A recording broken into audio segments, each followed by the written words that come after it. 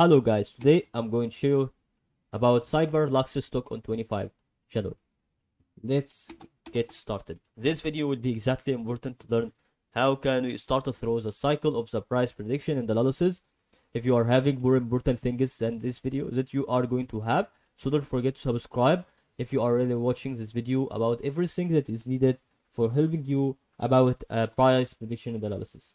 Exactly that should be important more than what you expect about to learn why this happened exactly through the cycle that should be imported uh, that stage. About the stop line here and another stop line here.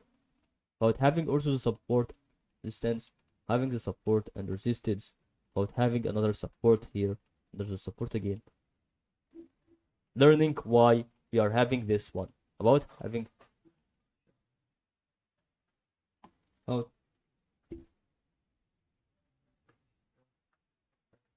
this one. This is we going on through a cycle that I am really talking about. Okay. On the five percent like that.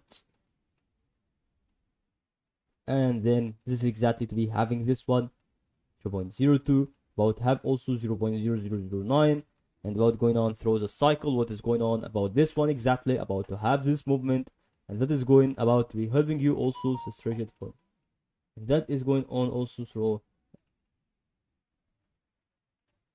having the rigid form right here this place about this movement like that.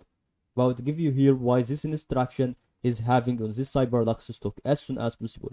Never mind guys if you are waiting for another kind of the tutorials on the price uh, prediction and analysis on every single video that you are waiting for it. And that is all to help you guys on this video and good luck